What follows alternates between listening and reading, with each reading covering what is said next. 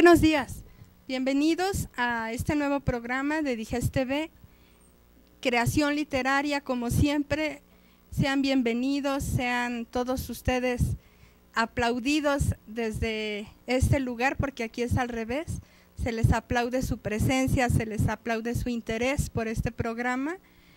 Y hoy, como siempre, nuestro invitado especial es eh, la palabra. Las palabras son nuestro invitado en este programa que le vamos a llamar palabrería. Es un juego, en particular es una manera de compartir con ustedes muchas formas, yo creo que ni siquiera nos va a dar tiempo, de que les eh, convide a mirar este mundo de los juegos que se pueden hacer con las palabras, que han utilizado escritores, que han utilizado poetas y que cualquiera pueda hacerlo por el simple, la simple y pura diversión de la palabra escrita. Entonces, eh, vamos a entrar de una vez. Les pido que nos pongan la primera diapositiva para que empecemos a explicar de qué se trata este programa de juego, de qué se trata este problema de la palabrería. Son problemas muy bonitos, muy complicados, que que para algunos son complicados, pero para nosotros son algo muy fácil. Miren, vamos a comenzar por esto que le llamamos abecegramas. Los abecegramas eh, son una manera de escribir que han utilizado muchos grandes escritores, en donde se comienza, hay que hacer una composición comenzando con la letra A del alfabeto, la segunda palabra sería la B, la tercera la C, y así hasta que lleguemos a la, a la Z. Por ejemplo, si se fijan en este texto, la primera palabra tiene A, la segunda B, la segunda C, y es un juego, es un juego de donde podemos crear cosas muy interesantes. Dice, anoche brillaron cerca, chispeantes, dos estrellas fugaces. Gravitaban hermosas, iluminando juntas kilométricos lugares llevaban mágicos negros nubios, originaban planetas que relucían surcando tenues universos, vertiendo wolframio, xenón y zafiro. Se oye muy bonito, es una composición bella, pero es un juego, es un juego llamado abecegrama. Pasamos a la siguiente. Este es un abecegrama hecho por una eh, alumna y dijo, ayer bebimos café de España, en Finlandia gustosamente hicimos, ¿qué dice? E, ustedes leerán mejor, jalapeños, kiwi, ¿verdad? Entonces, bueno, ustedes lo pueden, este, lo están viendo en pantalla. Entonces es una manera muy divertida de eh, tener ese entretenimiento de que ustedes digan, a ver, voy a hacer un abecegrama. Voy a, hoy a ver cómo le vamos a poner una narración de lo que hice en la tarde o a lo mejor la manera como voy a expresar una emoción, un sentimiento de manera de abecegrama. ¿Le cambias la siguiente?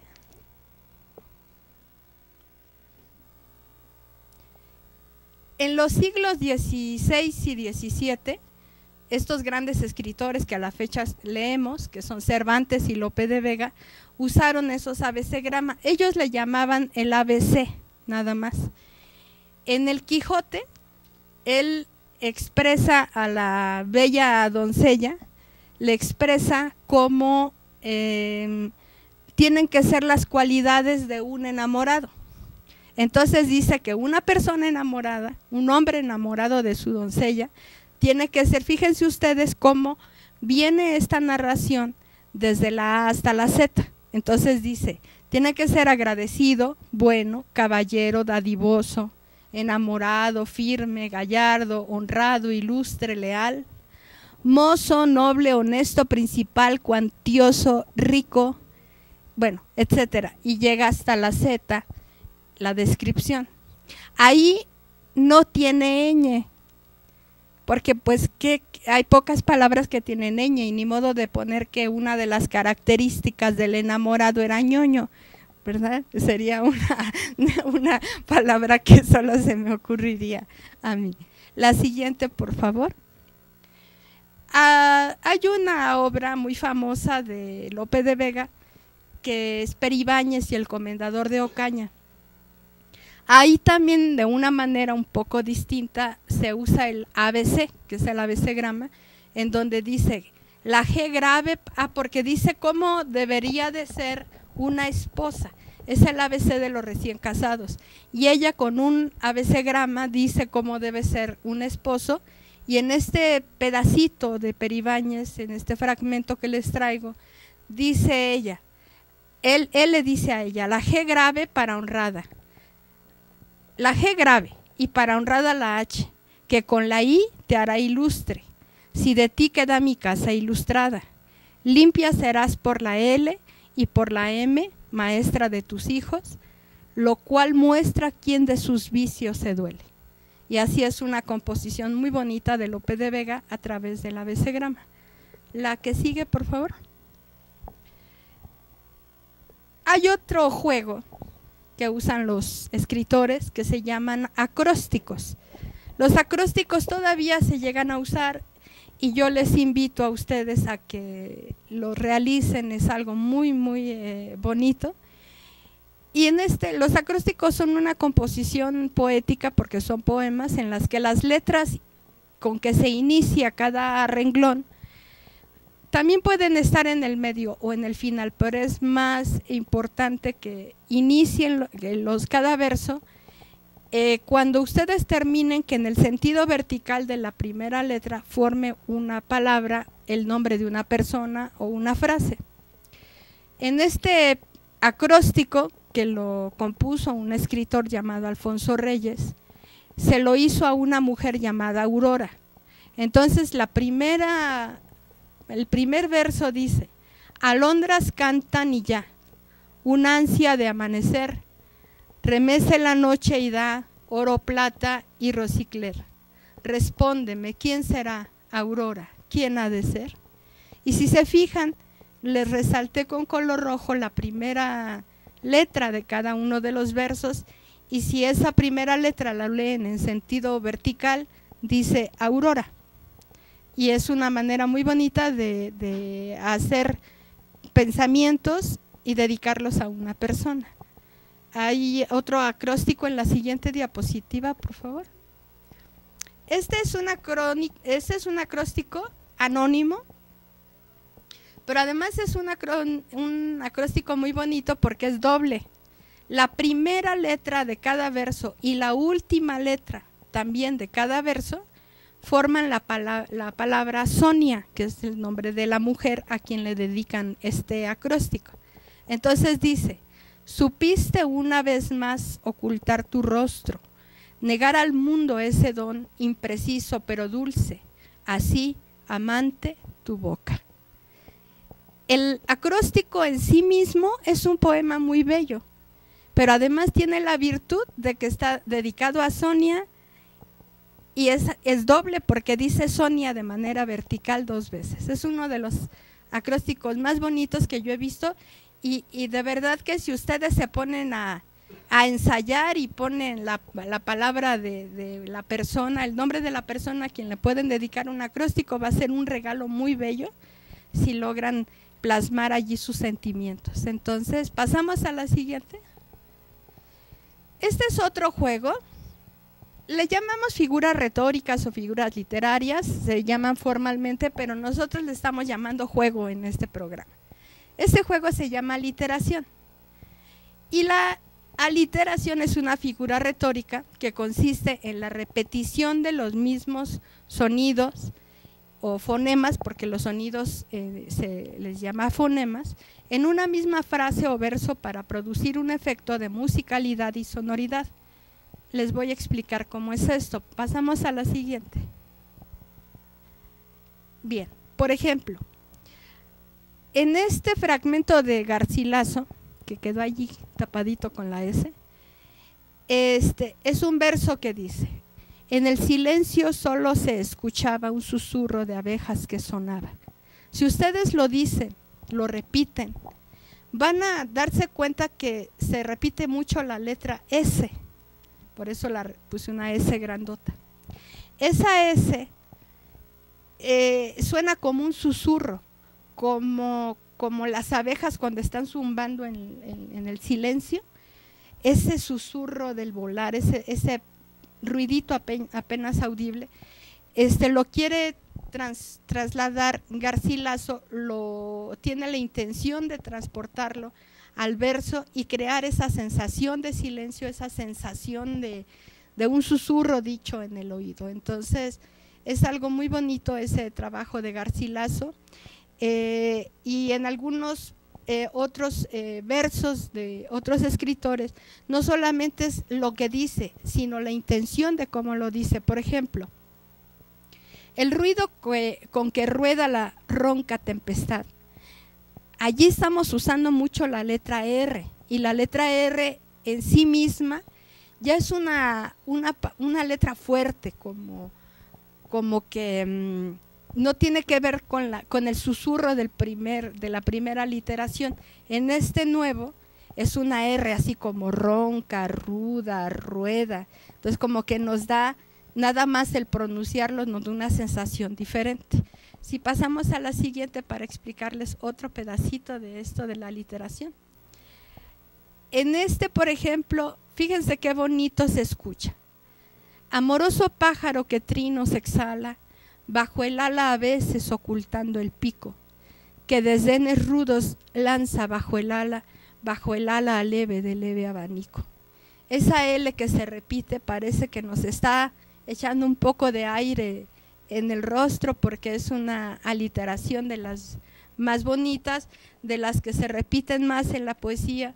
Y es muy importante que vayan, eh, cuando lean un poema, no solamente le den una lectura, sino también lean, eh, más bien que se queden con esa sensación de la sonoridad que producen las palabras y que ustedes también traten de hacerlo.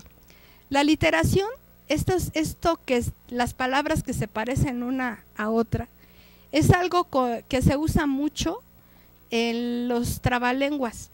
Es una parte de los trucos de los trabalenguas usar aliteraciones para que la gente se confunda a la hora de que los pronuncian. Eh, por ejemplo, ese no me va a salir, pero nos vamos a reír. Porque además yo creo que el chiste de los trabalenguas es que nos dé risa cuando los decimos mal. Entonces, el que poco coco come, poco coco compra. El que poca capa se tapa, poca capa se compra. Como yo, poco coco como, poco coco compro y poca capa me tapo, poca capa me compro. Bueno, no, sé qué hice. Pero el chiste de, de, los trabalenguas es precisamente que contienen esas palabras que se llaman aliteración que hacen que nos confundamos y decir tres, tres tigres eh, tragan trigo. Y entonces eh, a la hora de decirlo nos confundimos y para que vean ustedes que es parte de los juegos que podemos hacer con palabras. Vamos a la siguiente. Eh,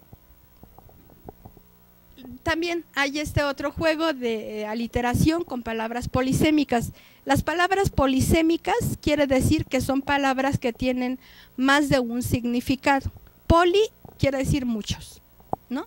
Entonces, que tienen varios significados. Por ejemplo, este que son de los más famosos, cualquiera lo sabe, que dice, usted no nada nada, es que no traje traje, porque me lo guarda el guarda. Ese es de los más famosos. O el otro, usted cómo come, que como como, como, como, como. Entonces son aliteraciones que se usan en muchos otros juegos o como ese que ese chiste que me estaba acordando ahorita que le dice un pescadito a otro pescadito. ¿Y tu papá qué hace? Y le dice el otro, nada. Entonces, son de los múltiples significados que pueden tener las palabras. Hay otro otra, otra cosa bonita con las palabras, si pasamos a la siguiente imagen, vamos a ver algo muy lindo. Se llaman anáforas. Las anáforas son figuras de dicción, es decir, de, de cómo se dicen. Dicción se refiere a la pronunciación. Y es la repetición intencionada de una palabra o grupo de palabras al comienzo de una frase o verso para enfatizar mediante esa repetición. Vamos a la siguiente. Entonces vemos, temprano levantó la muerte el vuelo, temprano madrugó la madrugada, temprano está rodando por el sueño. No perdono la muerte enamorada, no perdono la vida desatada. Es decir, son, son versos en donde, si se fijan, la primera palabra de cada uno con que inicia cada verso es temprano, temprano, temprano, y es una repetición, una reiteración que nos va a crear un ambiente particular en, el verso, en el discurso poético de ese fragmento de poema. Em, por ejemplo, miren, un anagrama es una palabra o frase obtenida mediante la transposición de letras de una frase a otra. Por ejemplo, eh, el anagrama de la palabra letras, si cambiamos un poquito, sería lastre. El anagrama de la palabra frase sería fresa. Incluso hay unos programas en la televisión en donde hay este juego de palabras y son como programas de concurso y que llaman y dicen una, una palabra y, se tiene que adivinar cuántas opciones de combinación de esas letras de esa palabra puede dar como resultado otra. Entonces, por ejemplo, es muy divertido porque si ustedes toman una palabra, por ejemplo, estas son nombres de ciudades.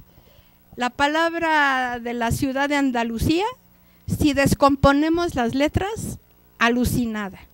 Aragón, Angora. Argelia, alegría. Costa Rica, sale la palabra acróstica. Socrática, torácicas. Ecuador, acuerdo. París, prisa. Roma, eso todo el mundo lo sabe, amor.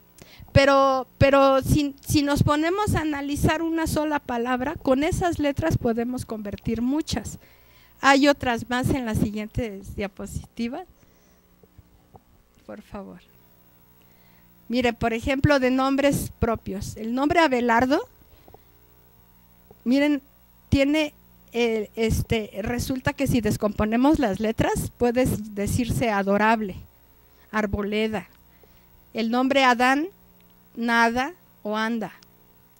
Del nombre Adela, la dea. Flora, resulta que si descomponemos, pues encontramos farol o foral. Del nombre Ramona, ese queda muy bonito porque miren, si lo descomponemos las letras, amaron, aroman, romana. Traje de Ricardo, Ricardo Criador, corrida. Y, podemos tomar las letras y seguramente del nombre Ricardo podíamos encontrar otras combinaciones y otros resultados curiosos.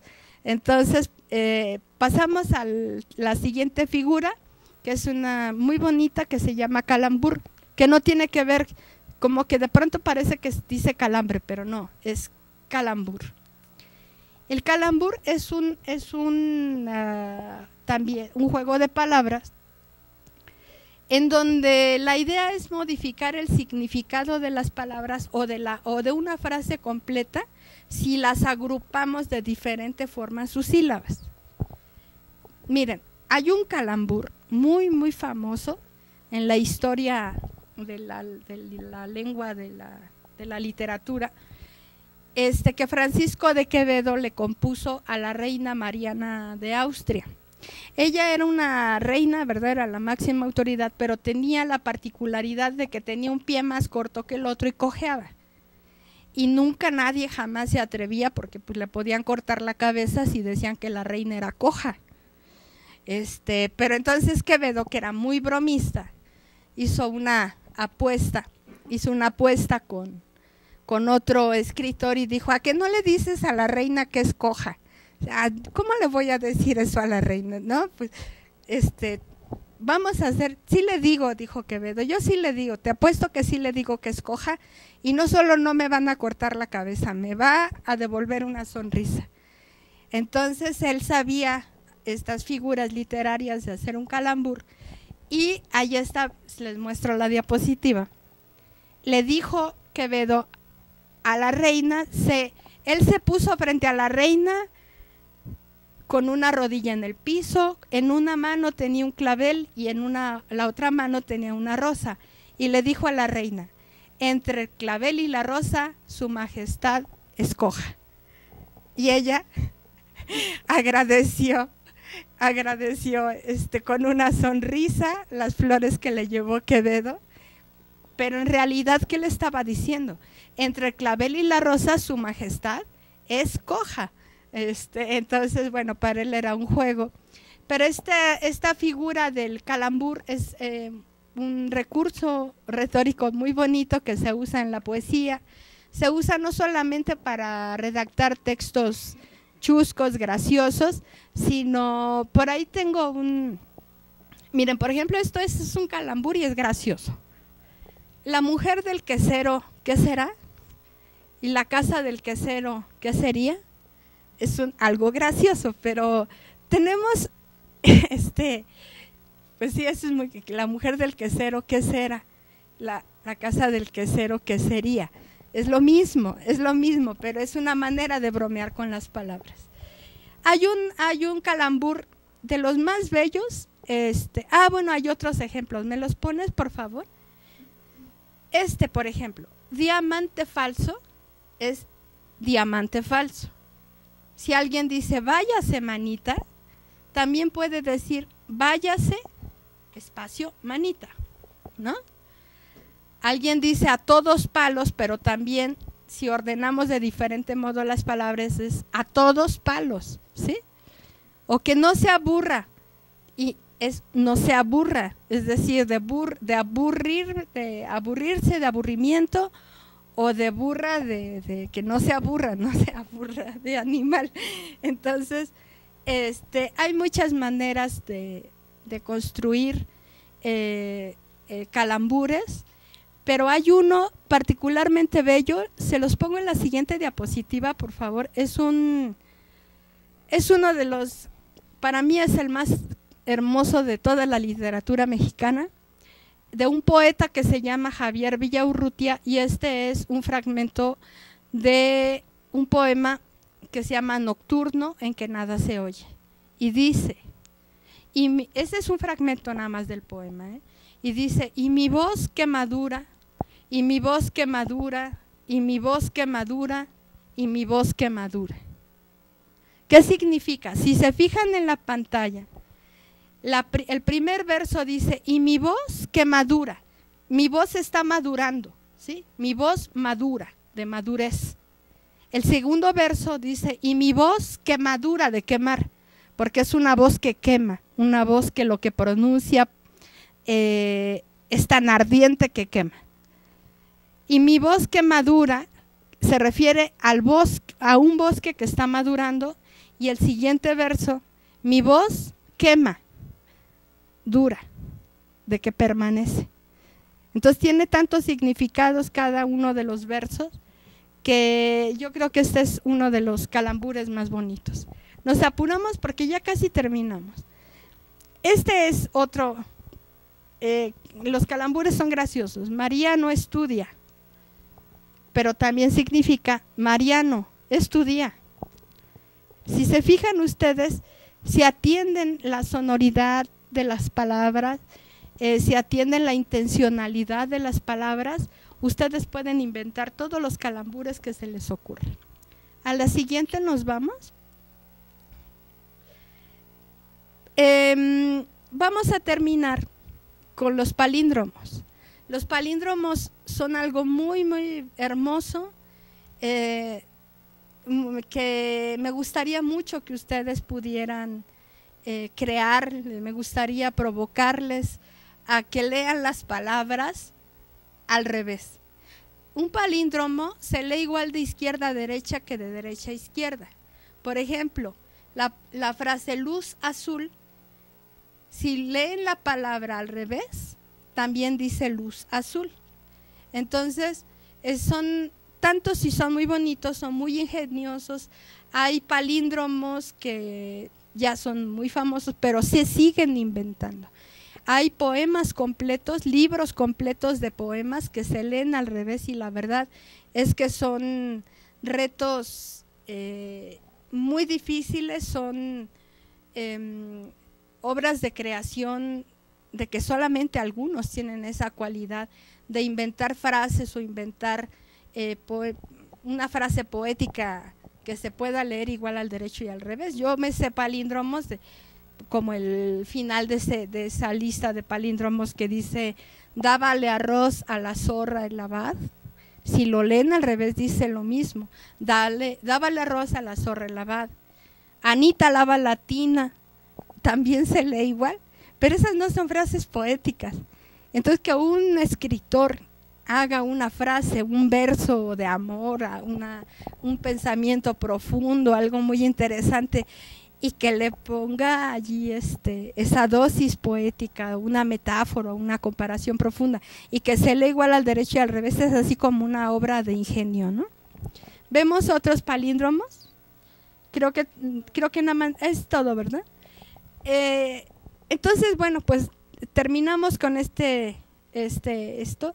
A mí me gustaría compartir muchos otros juegos de palabras. Están las gitanjáforas, tenemos eh, las greguerías, tenemos, bueno, tantas y tantas cosas que tenemos de recursos de la palabra y que resulta tan divertido. Ustedes pónganse a ver cada palabra, pónganse a ver frases, pónganse a pensar cómo se diría una palabra leída al revés, cómo se pueden pronunciar de diferente manera las cosas, la intencionalidad, hagan acrósticos, a lo mejor para una novia, a lo mejor para su mamá, una composición poética.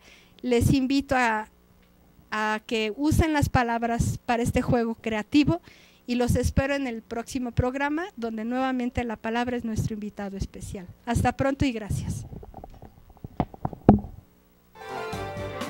ISA Corporativo y UNICEF te invitan a participar en el segundo concurso de dibujo infantil. Colorea tus derechos. Del 10 de febrero al 26 de marzo. Consulta las bases en www.isa.com.mx.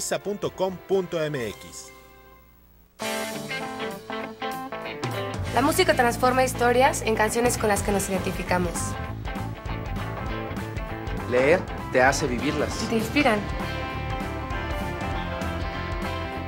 Lo que importa está en tu cabeza. Lee 20 minutos al día. Consejo de la Comunicación, voz de las empresas.